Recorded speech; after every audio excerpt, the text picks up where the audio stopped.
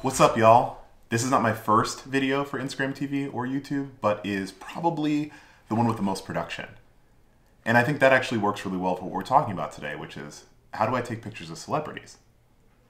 I think some of you recently have become friends of mine or followers because you've seen me taking photos of W. Kamau Bell or with Ludacris or Karamo or Hannibal Buress. And you look at that and you're like, man, it'd be so cool to meet these people and photograph them. But before I continue with anything else, I just want to say, as a photographer, you might shoot a celebrity, you might shoot a lot of celebrities, but they are not the barometer for your success. Your success as an artist is creating the vision you want and executing on it. The reason why we love celebrities so much is because they're recognizable faces and they are more tangible means for success than artists often have. So, while although this video is supposed to be helpful, I just want a reminder you're great just the way you are and keep making what you want to make. So, let's get into it. What are the kind of tools to the trade to being good at taking photos of celebrities? Well, there's kind of three things.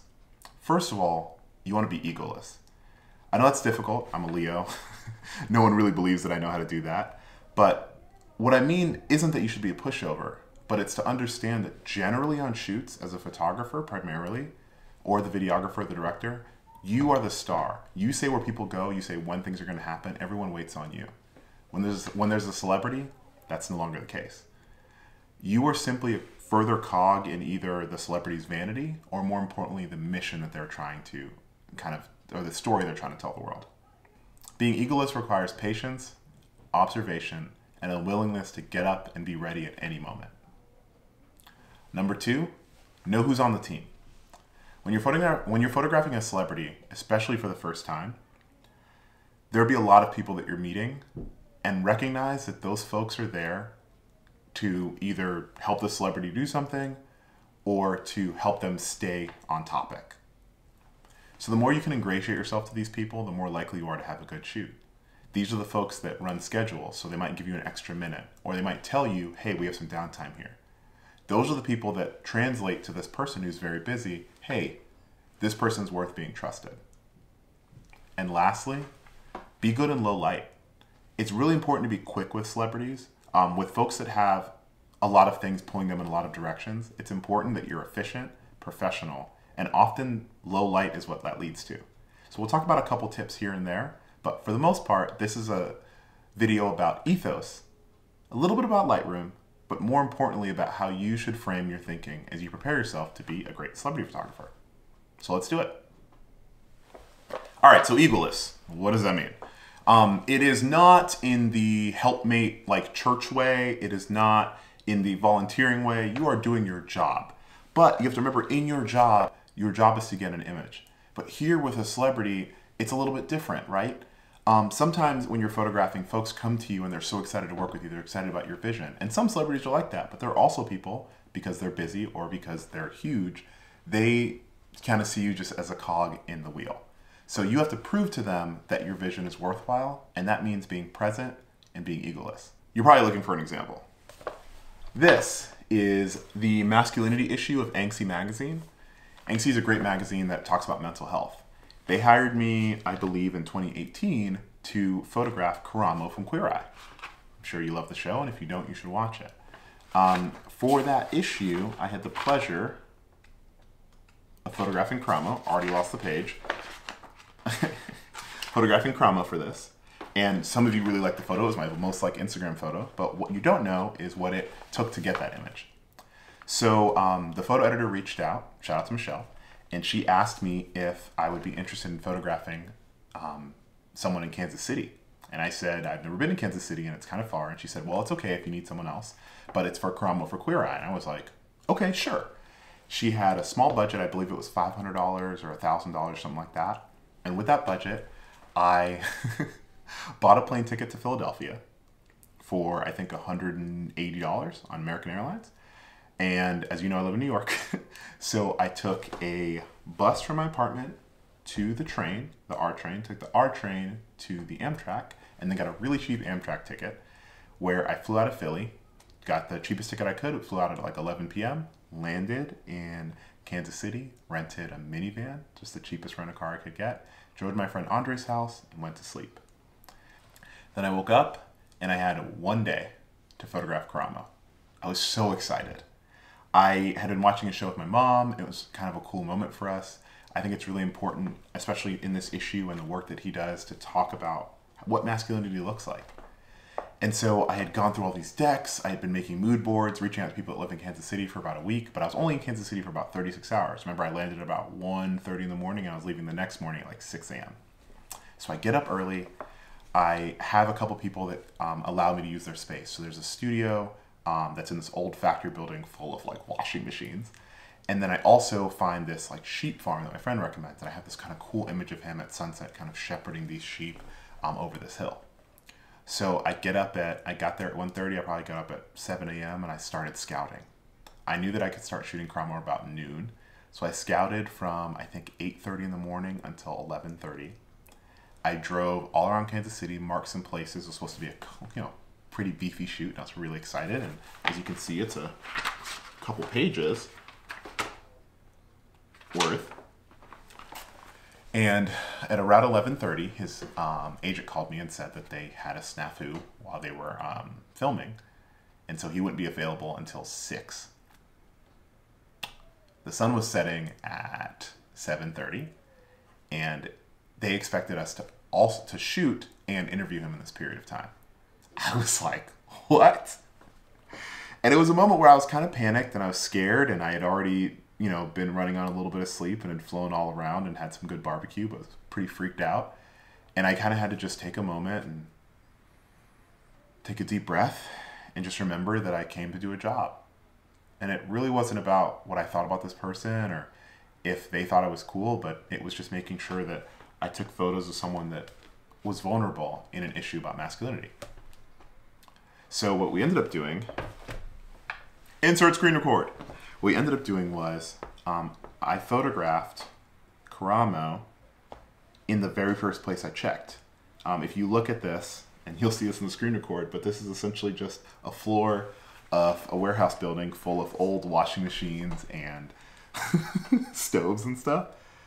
And I just found some areas that I thought were cool. So if we look through this right now, I'm using um, Adobe Lightroom. And as you know, Lightroom's great because it syncs across the phone, the iPad, the computer, desktop, etc. Um, but I photographed all these photos of Karamo, just so you know. I'll check this timestamp so you guys know, y'all know I'm not playing around. I photographed this at, it says 8 a.m. That's not what I took it. But if you go to the last image of Karamo, not of the person who let me rent, and you'll see that I photographed that um, just a couple minutes later. And so I photographed Karamo for about 11 minutes. But because of my scout and what I thought I knew about kind of the image that he wanted, I was ready. And so the first thing you need to do as a celebrity photographer is like be egoless. That means have a plan A, a plan B, a plan C. Be aware of your available light and be very flexible. Sometimes it's nothing personal. In this case, I believe they were still filming in Kansas City um, and things came up. And so on the list, I was not as important. Um, I want to shout out to the writer of this. She did a great job. She interviewed him for about 45 minutes, and then I had the last 15. And I moved him around and photographed him. You'll see that here, to start out, my hands were a little shaky and I missed my focus a little bit. But as we move along, you'll see that I started to figure out how to shoot him in a really shallow depth of field. And then the image that ended up being the cover photo, you'll see the miss first and then we got it here, and essentially what I was using is a little piece of glass to obfuscate the lens. So the thing I just want you to remember is, as you start, whatever vision you have, practice it a lot so that in moments of high pressure, you can deliver.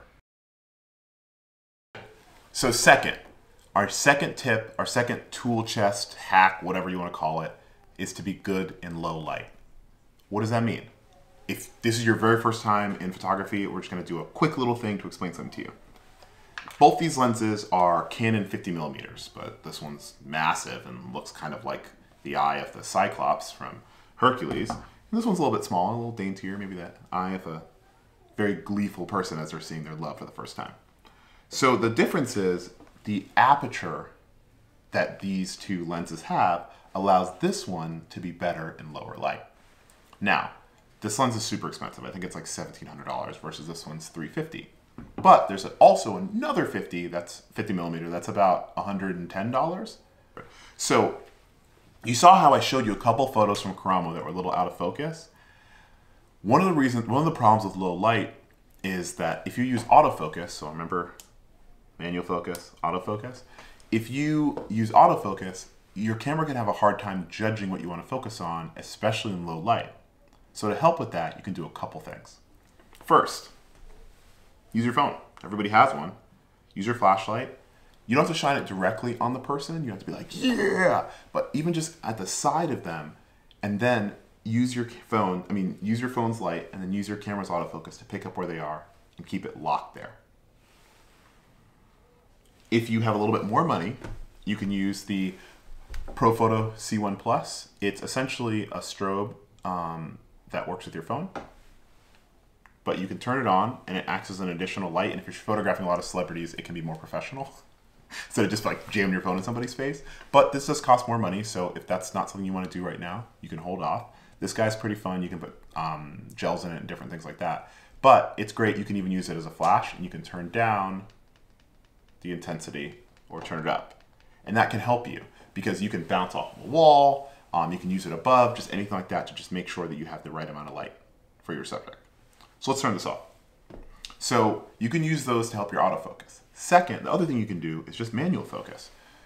Manual focus can help you because your eye knows better than your camera. Remember, a camera and a lens are designed to be just like the human eye, but unlike the human eye, it can't determine what's important. So sometimes it can help you to just move slowly and try your manual focus to get exactly what you want. Plus, manual focus is kind of fun and it's really nice to feel how tangible the photo is in your hands. So now you found your subject, you've lit them, you made sure that they're sharp enough. Something, a quick little thing I learned from Forrest Mankins um, is that this is an f1.4. This is an f1.2. As we went over, this is much more expensive. But something Forrest said I thought was really fascinating was sometimes we buy lenses and we go, oh wow, it can go all the way, all the way to f1.4. I'm gonna always shoot at 1.4. Sometimes what you want to do is this 1.2 is probably at its very sharpest at 1.4 and this 1.4 is probably at its very sharpest at 1.6 or 1.8.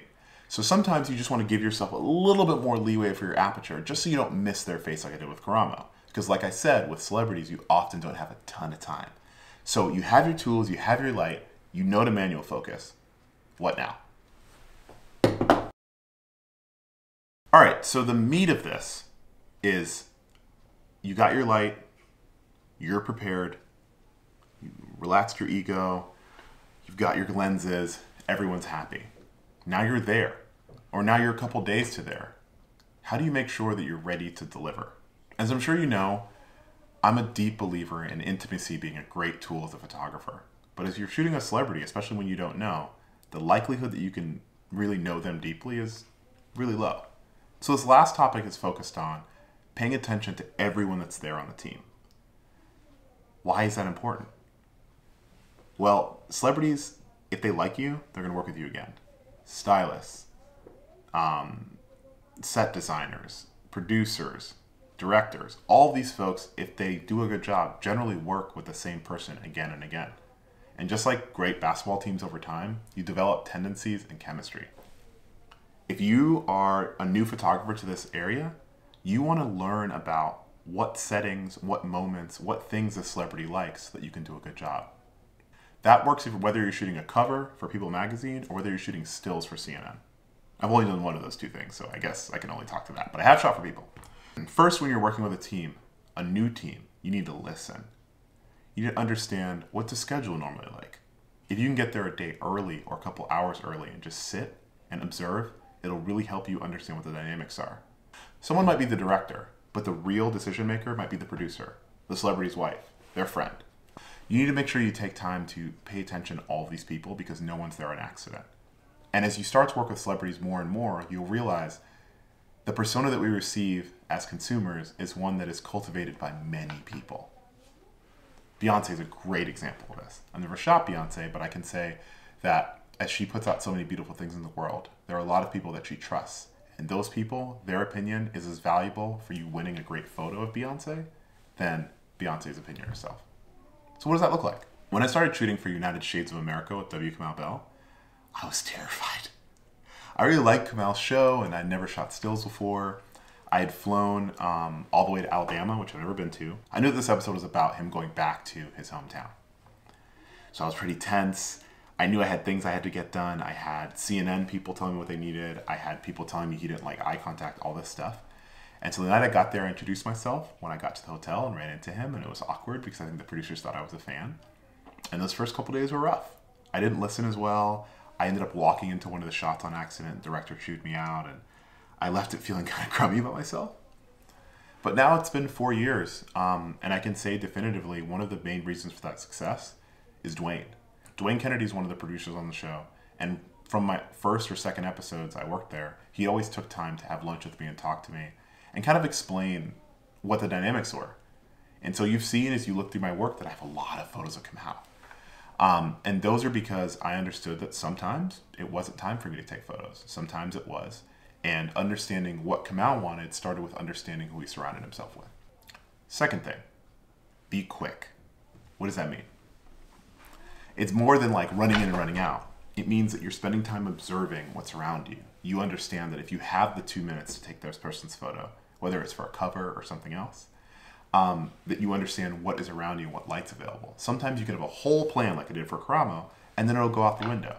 And so you need to be ready and willing to be out of your comfort zone and be comfortable with maybe not getting exactly what you want, but translating the vision to a degree.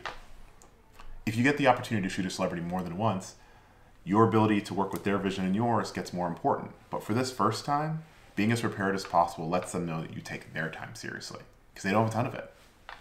After that, it requires listening more than you shoot. If you're listening on set, if you're listening on your calls ahead of time, if you're listening, if you're paying attention, if you're doing your research, you'll kind of know what works well for this person. If you can say, if they say, oh, I don't know how to pose, and you say, you know, I spoke to your stylist, I looked at some old photos of you, and I think these are best. I think you want to avoid this. You're showing them a mastery and understanding. And when you're in those positions, that confidence is key. Getting to speak to Ludacris after we filmed that video, I remember he said to me, I haven't looked at your work, but I really appreciated how comfortable you made me when we were on the phone. And hopefully we get to work together again. But this video is kind of a long winded way to say that this gear is important, these lights are important. I love my iPad, I love Lightroom. But the preparation comes and starts with you. And you shouldn't be nervous because if you've taken enough photos for a photo editor or um, an agency person to think you're the person for this job, just like Diddy said to Dana Scruggs, you're ready. All right, so these are actually the first photos I ever took for Kamau's show.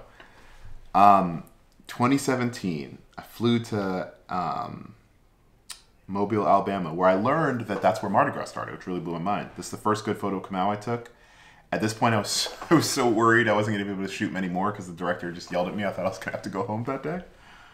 But after introducing myself, he was already lit well. I got some nice bounce off that side of that building. So what I meant was, as we were filming, I thought to myself, "Oh, it's 11 a.m. The lights pretty, sky's pretty high, but there is a nice white side of this." And so if I sit him down, I'm able to get some good bounce, and that really aggressive light from um, the kind of that high noon sun won't be as bad. And so that preparation, I think, got me ready. Here's some other portraits I took along the way. They're just kind of okay. And I kind of showed a commitment since Kamau's a funny guy to be funny and try to find some things that showed his personality. And along the way, I also tried to show that I was there for the story and not just for him. I think that's something that's important about being egoless. You know in your mind that if you take a great photo of a celebrity, it'll put you on the map for more things. And they know that. But the cosign you're looking for isn't earned easily. And if you're always chasing that clout, it will be far harder for you to receive. So when I was there, I tried to shoot other people. This is a photo of his cousin I took, his dad. I tried to shoot every photo like it was really important. And you'll see here even, um, I shot this on 35 millimeter. I actually photographed this in a Mark II. Fun fact about me, I just got a Mark IV uh, a year or two ago, but I've shot with a Mark II for a long time. I love the colors, love the lights, any camera you use can work as long as you're prepared. And other thing, super important, I can't believe I forgot about this. When you're photographing a celebrity, well, sorry, I just shook the floor. When you're photographing a celebrity, if it's for a TV show or for a film, you have to make sure that you have a camera that is silent. Hear that? That's silence. No camera's all the way silent, but something that has an electronic shutter or a muffled shutter will allow you to photograph while filming is happening. So as much as I love my Mark IV, I don't use it for that. I actually use the Canon R6. It's quiet, it uses all my Canon lenses. Um, I've also used Sony's in the past, Fuji's. Everything is good, just make sure if you are filming for TV, that's something you want to keep in mind. And then very lastly, take a dope photo so that they know, this is the biggest trick. Take a photo that the celebrity sees and they think is cool, and I promise you, they'll have you back.